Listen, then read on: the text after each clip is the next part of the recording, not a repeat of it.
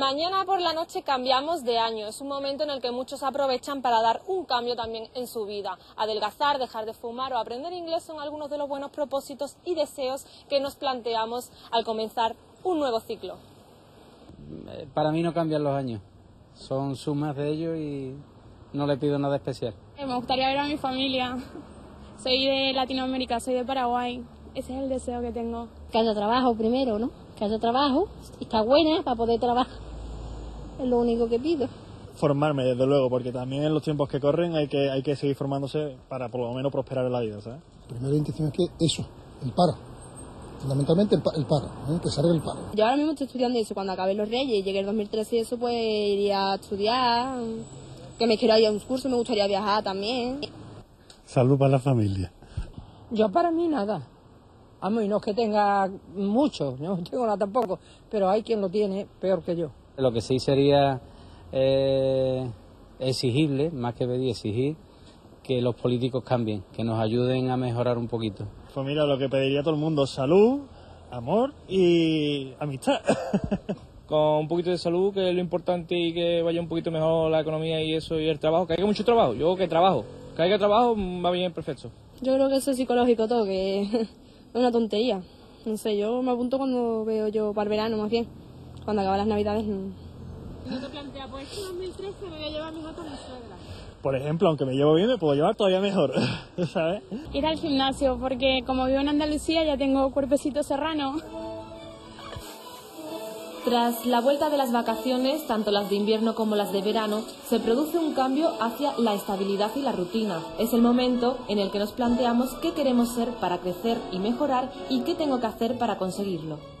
Un ámbito que tiene que ver con lo que nos gustaría hacer nos gustaría ser como personas, lo que seríamos, lo que acabaríamos siendo nosotros, cómo nos visionamos como personas.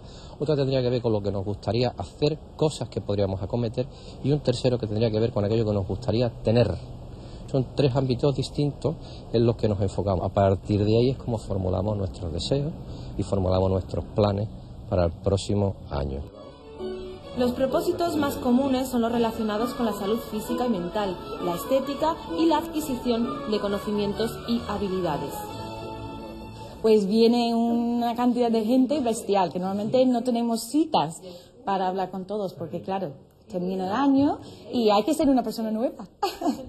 Entonces vienen con la ilusión de que este año por mí voy a aprender algo nuevo. El inglés, vamos, Normalmente forman muchos grupos a partir del 1 de, enero. Mucha gente se apunta por, por, la salud, porque el médico, el médico se lo manda, porque le duele la espalda, porque tiene problemas de corazón o porque el médico le ha dicho que tiene que adelgazar. Son al final todo, todo es la salud, todo lo que, lo que engloba el deporte. La clave fundamental es mm, tener conciencia y mentalidad de querer dejar de fumar. La acupuntura ayuda, y ayuda en el sentido de que reduce la ansiedad. Cuando se reduce la ansiedad, el deseo de fumar disminuye. Pero también, al, aparte de las agujas en el cuerpo, se pone también auriculoterapia con agujas.